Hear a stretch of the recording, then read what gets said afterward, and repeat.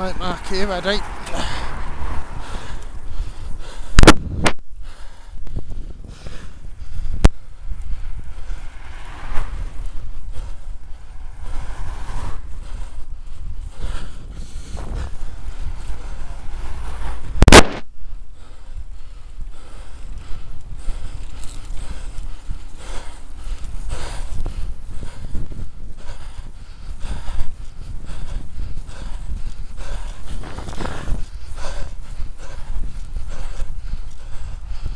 ready?